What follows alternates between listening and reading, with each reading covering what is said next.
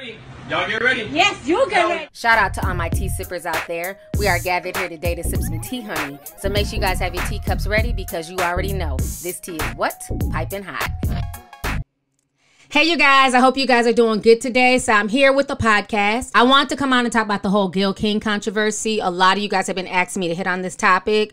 Well, if you don't know, everything went down yesterday on social media, and I've just been kind of watching how everything has played out. So, what went down is that basically CBS they released a clip of Gayle King asking Lisa Leslie a question about Kobe Bryant, and she proceeds to bring up Kobe Bryant's old assault slash rape case from 2002 2003, and she's asking Lisa Leslie about it, and this pissed a lot of people off, honey. I'm talking about everybody from Snoop Dogg to Lil Boosie Everybody was dragging her on social media yesterday and even this morning. I'm going to go ahead and play you guys a clip that went viral. I'm going to show you guys some of the responses and I'm going to come back and talk some more. Go ahead and check this out. It's been said that his legacy is complicated because of sexual assault charge, which was dismissed in 2003, 2004. Is it complicated for you as a woman, as a WNBA player? It's not complicated for me at all. Even if there's a few times that we've been at a club at the same time, Kobe's not the kind of guy, never been like, you know, Lisa, go get that girl or tell her or send her this. Mm-hmm. I have other NBA friends that are like that. Mm-hmm. Kobe's, he, he was never like that. I just never see, have ever seen him being the kind of person that would be do something to violate a woman or be aggressive in that way. I, that's just not the person that I know. But Lisa, you wouldn't see it though as his friend, you wouldn't see it. And that's possible. Mm-hmm.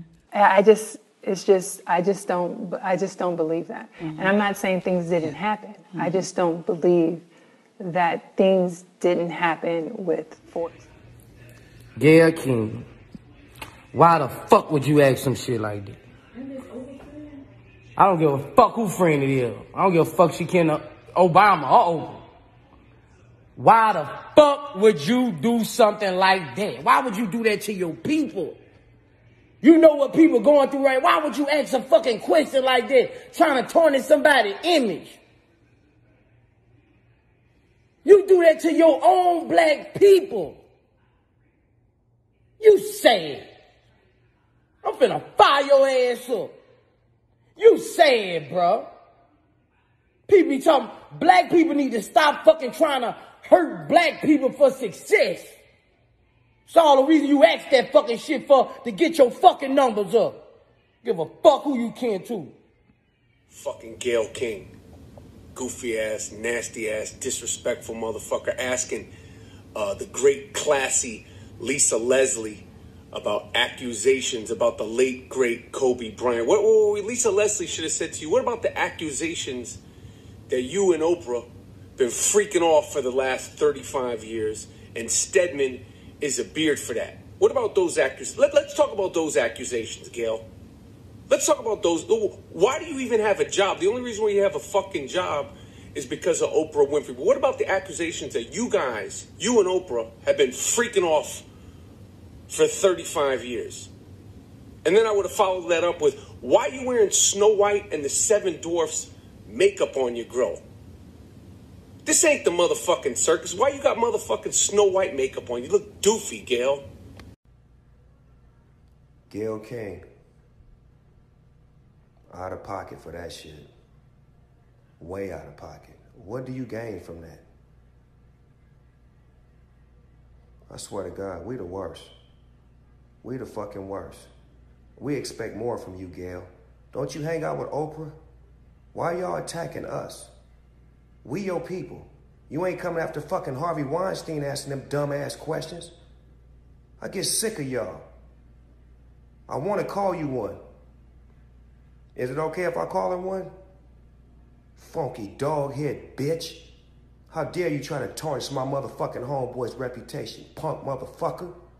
Respect the family and back off, bitch, before we come get you. All right, so you guys just saw the clip and what folks like Snoop Dogg and Lil Boosie had to say. Now, Gayle King, you know, she was not ready for the backlash. She's very upset. So, for the first time ever, she's taken to her Instagram live and she basically released a close to four minute video explaining the topic, claiming that CBS threw under the bus, and she's really upset, kind of distraught. I want you guys to go ahead and watch this, and I'm gonna come back with the rest of my commentary. I've been up reading the comments about the interview I did with Lisa Leslie about Kobe Bryant. And I know that if I had only seen the clip that you saw, I'd be extremely angry with me too. I am mortified, I'm embarrassed, and I am very angry. Uh, unbeknownst to me, my network put up a clip from a very wide ranging interview.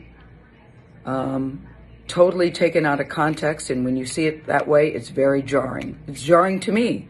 I didn't even know anything about it. I started getting calls. What the hell are you doing? Why did you say this? What is happening? I did not know what people are talking about. So I've been told or I've been advised to say nothing. Just let it go. People will drag you. People will troll you. It'll be over in a couple of days. But that's not good enough for me because I really want people to understand what happened here and, and how I'm feeling about it. I reached out to Lisa because I know that she's a longtime friend of Kobe's to talk about his legacy and their friendship. We had a really wide ranging interview, talked about many things his career, his passion, his sense of humor, the way he was mentoring other people, how he was starting his next chapter. It was wide ranging. And yes, we talked about that court case because that court case has also come up. And I wanted to get Lisa's take on it as a friend who knew him well, what she thought, where that should stand. And I thought she, it was very powerful when she looked me in the eye as a member of the media to say it's time for the media to leave it alone and to back off. During the course of the interview, I asked follow up questions because I wanted to make sure that her position and perspective were very clear. And at the end, when she said it's time for to leave it alone, I, as I said, I thought that was powerful, and I insisted, I insisted that that part be in the interview because I thought that it put a nice button on that part of the conversation. Um, when the interview aired, we got a great reaction to it. Um, I talked to Lisa last night. I believe that Lisa was okay with the interview. And I felt really good about the interview, really good about the interview. So for the network to take the most uh, salacious part when taken out of context and put it up online for people who didn't see the whole interview is very upsetting to me, and that's something I'm going to have to deal with with them. Uh, and we will, there will be a very uh, intense discussion about that. I also want to say this. I have um, been with Kobe Bryant on many social occasions. Uh, he was very kind and very warm to me, and I felt that we had a friendly relationship. I too am mourning his loss, just like everybody else. I still am shocked by it. It's tragic and untimely, and the last thing I would want to do is disparage him at this particular time. And I, I, I hope people understand that. And that's why I'm taking this time to speak to you directly. I've never done one of these before. I didn't even, I, I've never done one of these before, but this was so important to me that I felt I had to say something. I don't want to sit up on a set and read a prepared remark. Uh, I wanted you to hear exactly where I'm coming from and how I'm feeling. And to let everybody know that no disrespect intended. And now I've got to go to work. Uh, I thank you for listening. All right, so you guys just saw what Gayle King had to say.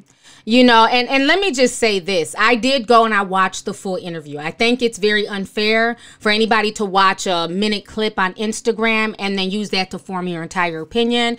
I went and I sought out the interview, and the way she's talking, she acted like there was just so much more context to this interview. The interview is only about five minutes. It's not like it's a 20, 30 minute interview. It's about a five minute interview, but I think that Gayle cannot handle the backlash because from what I saw in that interview, it shows her to be a messy person. But before I get onto the interview, let me say this. Now, as far as Snoop Dogg and Lil Boosie, everybody's uh, everybody's allowed to have their opinion of the situation. I do not agree with Snoop Dogg, you know, low key threatening a woman. You know, people were pointing that out. I don't agree with that. And at the end of the day, of course, him and many black men are going to be vocal about this because they've been dragging Oprah and Gayle for a while for how they keep, you know, putting black men on blast and Oprah doing the whole Russell Simmons documentary. A lot of people are mad about that. But some people have perceived this as a victory for Russell. Yeah. Uh, and, and Russell, this is not a victory for Russell, and I unequivocally say that I did not pull out because of Russell. This is not a victory lap for him.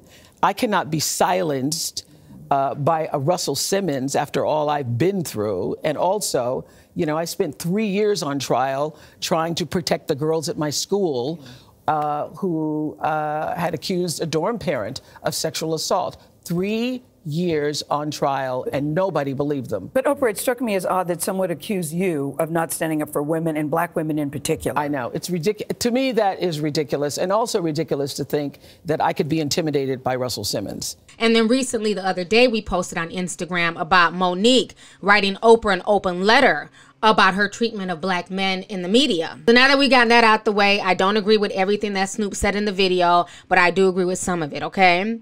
Now, she claims that this was taken out of context and that basically CBS was wrong for putting out that salacious clip.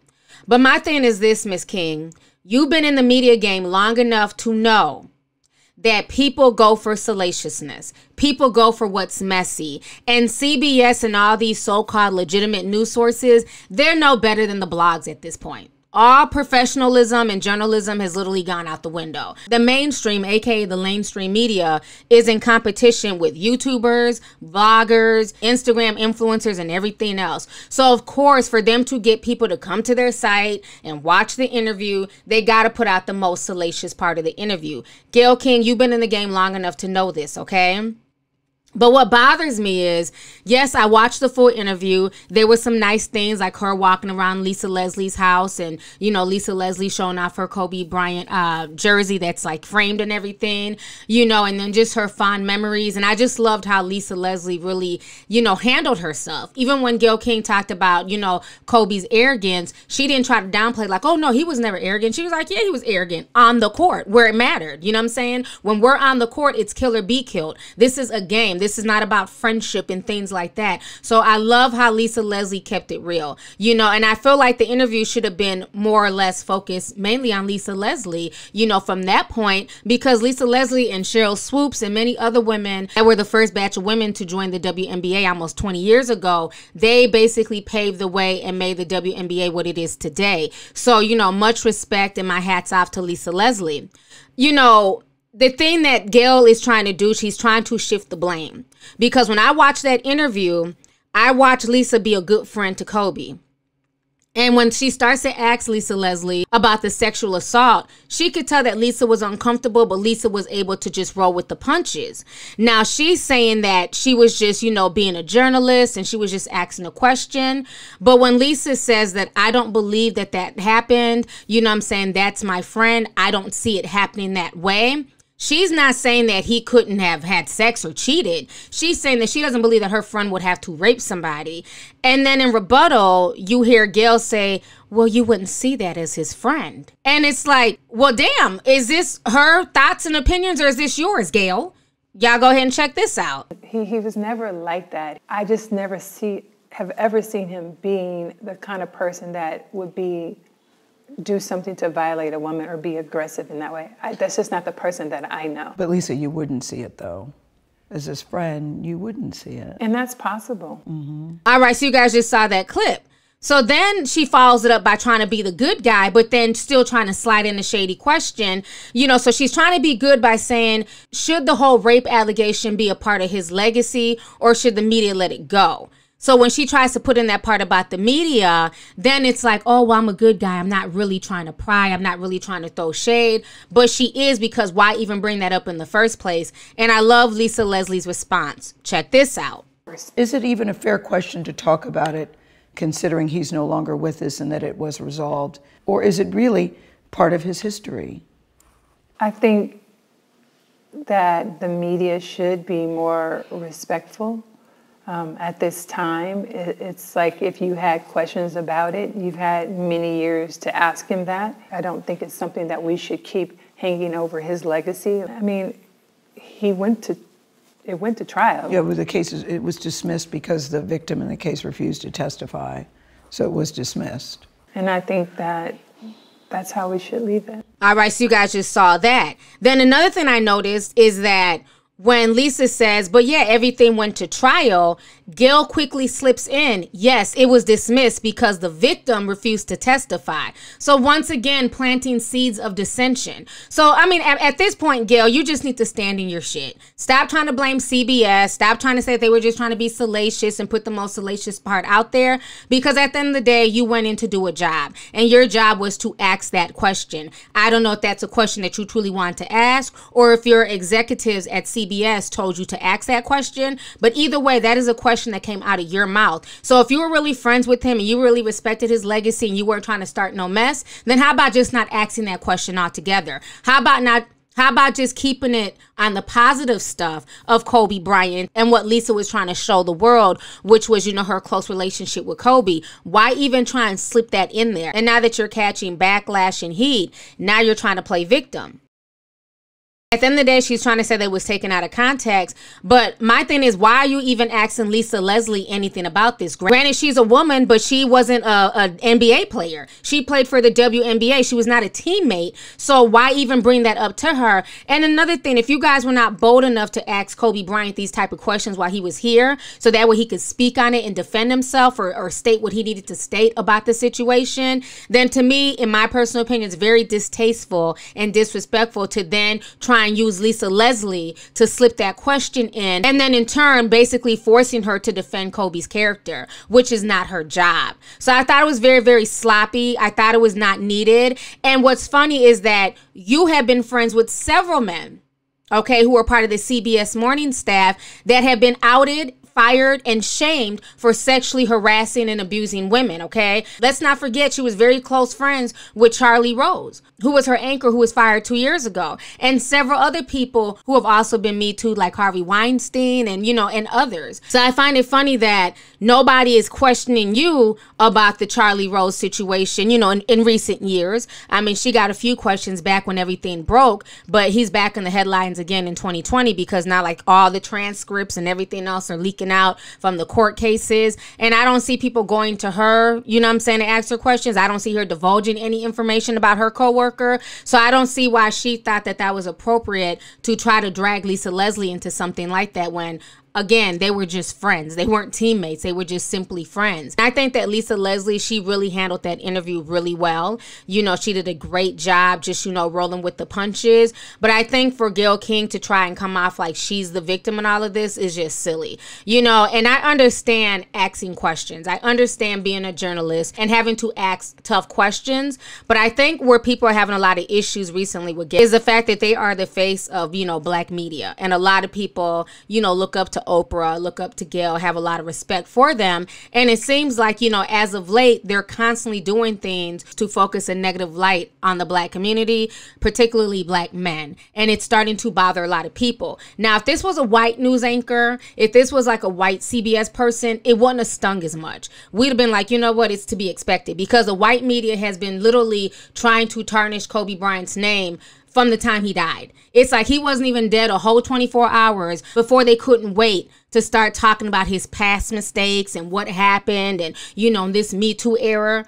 Kobe just died. If you guys were that concerned about this girl who was allegedly raped almost 18, 19 years ago, then why did you guys not ask Kobe this recently? The man just died. This whole cloud with this whole rape allegation being attached to his legacy, that has been around for years now. So why was nobody in the media bold enough to ask him that while he was alive? Don't get about it. Don't get nuts once this man has died. That's what I don't respect. Keep the same energy. Had they been asking him this in life, I'd respect it more than you asking people who are not even teammates of his you know, questions about, you know, what he did. And like I said on my live stream, I don't believe he raped the girl, but I do feel like they did have sex. I do feel like he had sex with her and that he was unfaithful to his wife and that he cheated on Vanessa. I will always stand by that. But as far as raping her, I'm not buying that. Nobody's out here saying that Kobe Bryant's a perfect person, that he was without flaws, that he did not make any mistakes. But my thing is, when do we allow people, especially black people and black men, to grow and learn from their mistakes? Why are their mistakes always tied to them? Even as they get older. Why does that always have to follow their legacy? Then the same white male counterparts, they can do all types of crazy shit, ratchet shit when they're young, but that's not attached to their legacy. That is just really weird to me. I mean, even for instance, you know, the, the former first lady, Laura Bush, she killed one of her classmates in a car accident when she was a teenager. I don't think I ever, ever heard the media like bring that up to her, throw that in her face. They just looked at it as a tragic accident and moved on. Nobody's calling her murderer. But then in the same breath, you'll still have people going in on Brandy for the car accident that killed somebody, you know, back in the uh, early 2000s. Was 2006 the worst time for you when you were involved in the accident and the woman was killed? Was that the worst? Yes. Mm-hmm. Um, you never wake up thinking that today's the day. Today's the day that something like this w- would happen. It's almost like when we as black folks make any type of mistakes, they're just held over our head indefinitely. And it's really, really sad that they that the media will not let this go, especially being that the case was dismissed, the woman refused to testify, and everything else. Everybody else was able to move on, but somehow all of a sudden now the media can't move on from this alleged rape case and they keep bringing it up, even though this man just died not even a week and a half ago, and they could have brought this up well before his death, but they chose not to. That's because most of the mainstream media media are punks. They don't have the same energy with these people face to face as they do once they're not here to defend themselves. So, anyways, y'all, let's go ahead and get the discussion popping. Go ahead and leave a comment. I want to know y'all's thoughts on this entire situation. Are you buying Gayle King's story that basically CBS threw her under the bus and she had no idea? Or do you feel like she's only speaking out because the backlash is so great and a lot of, you know, even A-listers are blasting her for that interview? And then how do you guys feel about just everything in general with how a lot of black celebrities, men and women, you know, anytime they make a mistake, even if they've changed and they've just been on the straight and narrow for 10, 15 years, that mistake is always thrown in their face some way, somehow. So let me know your thoughts. Don't forget to hit the subscribe button. Make sure you thumbs up the video. And last but not least, make sure you hit the notification bell so that we can be done with the notification squad. All right. Deuces.